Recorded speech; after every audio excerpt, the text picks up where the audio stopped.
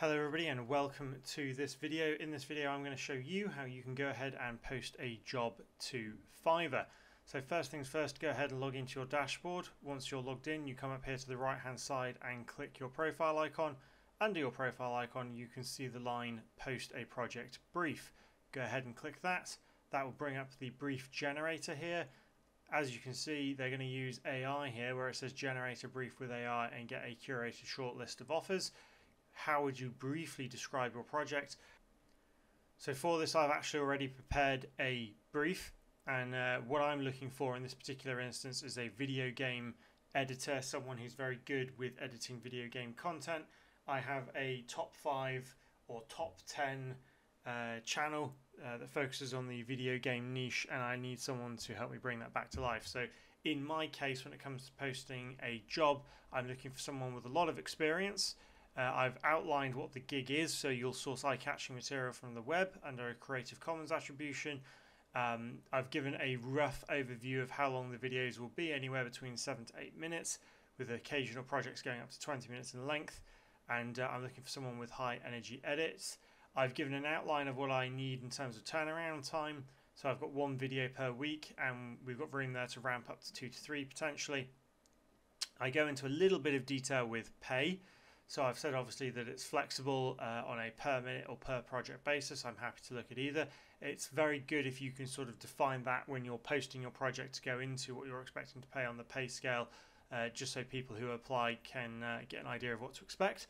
Um, I've given an overview of what I'm looking for. So I want someone with top tier editing skills, a sharp mind uh, for sourcing relevant and high quality visuals, uh, and creative uh, initiative ideas. Um, someone who's ideally a bit of a gamer themselves and uh, really just sort of already has a rough handle on the niche as a whole. So once you've done this and you've written out a rough overview of what your brief is, you can go ahead then and click generate brief. It's then going to take that content and try and build a rough idea uh, of what you're looking for and who might be potentially suitable. So it basically develops an overview here um, and we've got several fields that we need to come into here. So it gives an overview of the project goal, the video style and tone, script and storyboard, and additional information. Now, what we need to actually do is go, give it a mandatory timeline uh, and a budget. So I'm going to go ahead and put in a budget of £80 and press save. That's just a rough £80 estimated budget here. Obviously, I've got an ongoing requirement for my particular brief, um, but for this particular video, I'm going to put in £80. Uh, the timeline. Um, so when do you want this project done by? You obviously need to select the one that suits you.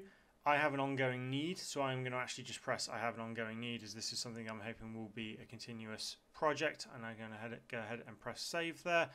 So and then I'm going to go ahead and press source for me or invite freelancers. Invite freelancers will send out some invites and also allow people to apply, but it will allow you to actually directly approach editors, in my case, for your brief. I'm quite happy with Fiverr just putting out the brief and seeing who's interested, so I'm going to press source for me, and then it goes your brief is being created, and now it's going out to source freelancers for my brief. Once that's done, we can then go ahead and press view brief progress or see all briefs. This is good to just get an overview of all of the briefs that you've got.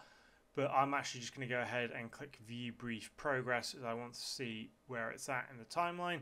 So we go back to our dashboard here now and we can see that we have uh, a tab here that says waiting for freelancers to send you tailored offers. A few hours I expect I'm going to have a couple of applications in here. So I've now successfully posted this project to Fiverr. But that's it for this video guys. I hope this has helped you post a job on Fiverr